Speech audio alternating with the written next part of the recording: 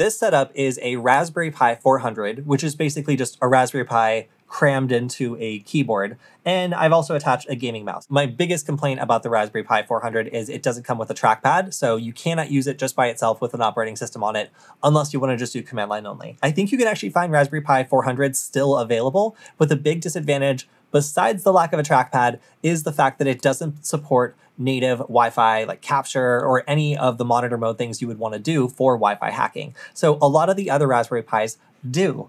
Uh, yeah. It's just that it is harder to find them right now. So I'm using an example that does not support Wi-Fi capture with the Nexmon driver, which typically allows anything, even including the Raspberry Pi uh, 0W, in order uh, to put itself into monitor mode and do some really interesting, cool things. I'm going to be using an external wireless network adapter, as you imagine a lot of people will. So that way you can have any sort of Linux device that has a USB port and follow along provided that you can put that uh, wireless network adapter into monitor mode. Today, I'm going to be using a Panda Wireless. It's a POU09. This I like because it is not subtle at all. I have been actually almost kicked out of a uh, like a co-working space because I was using this plus another wireless network adapter that looked equally conspicuous, and some tech bros sitting next to me ratted me out for using too many wireless network adapters and thought I was up to some sort of hacking. So I actually had to talk to the person at the co-working space and explain myself over this thing. So if you are looking to go with a subtle option,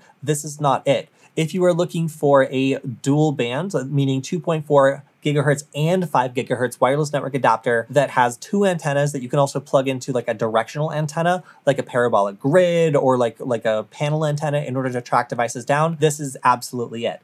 The versatility of this tool I think is really great because, you know, it hits both the 5 gigahertz and the 2.4. People ask for that a lot. And it also has the ability to attach the directional antennas, which people also ask for all the time.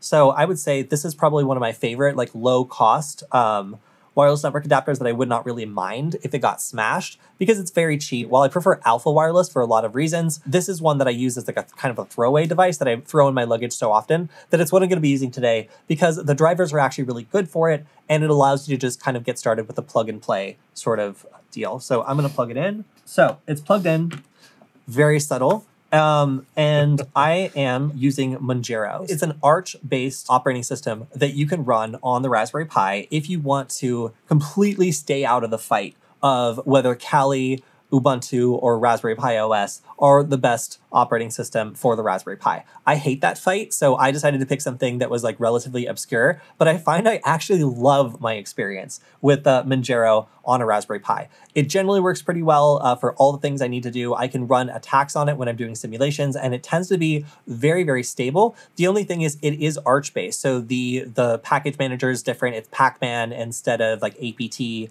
uh, and there's a couple other things you need to get used to as well. Linux commands will work, you know, pretty universally, again, except for the installing commands for just about anything. And most of the tools I'm going to cover today are very easy to install.